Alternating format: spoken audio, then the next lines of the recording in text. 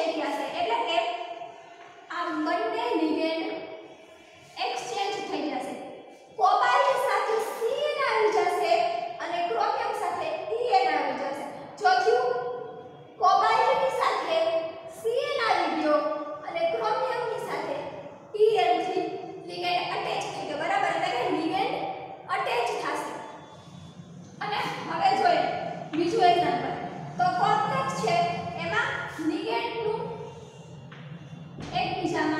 transfer थी जैसे बराबर तो शू